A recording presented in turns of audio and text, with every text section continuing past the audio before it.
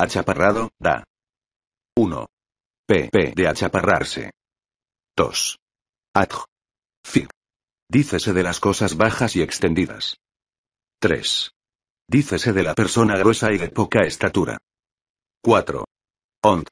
Dícese de la persona que sea poca espiritualmente.